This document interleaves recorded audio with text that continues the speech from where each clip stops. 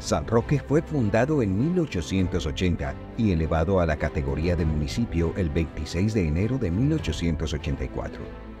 Está ubicado entre las cuencas de los ríos Nus y Nare. Surgió como fonda y centro minero. Tuvo un auge importante potenciado por el ferrocarril de Antioquia. San Roque surgió con motivo de, las, de los mineros o los buscadores de oro que llamábamos, que pedían al Estado soberano de Antioquia, pedían licencias o permisos para venir a buscar oro.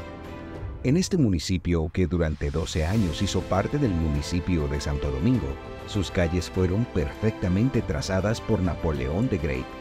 Sobre su planimetría se levantaron los primeros ranchos de paja que, con el tiempo, pasaron a ser estructuras en bahareque, barro y tejas, las cuales tenían como centro una pequeña capilla que todavía se conserva a una cuadra del actual parque principal.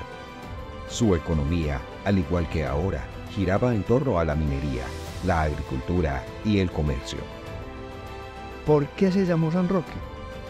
Porque los mineros en esas condiciones tan insalubres que trabajaban se fueron enfermando mucho y conocieron de pronto gracias a la presencia de muchos sacerdotes que fueron llegando a estas regiones, conocían que el santo de las pestes era San Roque. 140 años después de convertirse en municipio, San Roque se caracteriza por su gente pujante, trabajadora, emprendedora, por sus valerosos hombres y mujeres que a diario trabajan por salir adelante, Hoy San Roque es un municipio que está en la ruta del desarrollo sostenible gracias al trabajo articulado entre los sectores público y privado y las comunidades.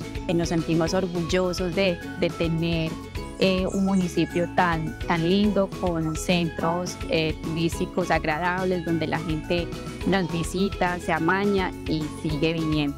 Yo como cafecultor me sueño a San Roque como un centro de innovación del café eh, inicialmente en el nordeste antioqueño y ojalá fuera un centro de innovación y ejemplo de café a nivel de Antioquia o Colombia. Yo San Roque dentro de unos años lo veo como un municipio muy próspero, con muy buen desarrollo, con muy buenas oportunidades para los jóvenes y para las personas en común, que el sector comercio evolucione a un rango en el cual sea mucho más, más atractivo de lo que es hoy por hoy. Ahora los sanrocanos trabajan para que su municipio sea reconocido como la tierra de la cordialidad y las oportunidades, como un municipio productivo, sostenible, equitativo, educado, saludable, con gobernanza y formalizado, conectado, legal y ciudadano. Feliz cumpleaños San Roque, que tu historia continúe inspirando a muchas generaciones.